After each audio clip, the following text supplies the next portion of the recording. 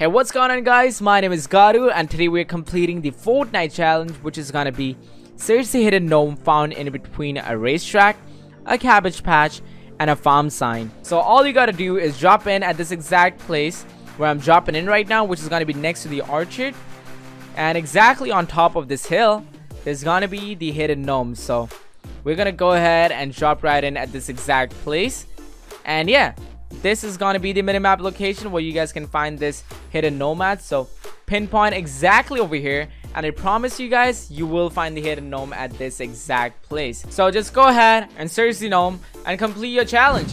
If this video helped you out leave a like and subscribe to the channel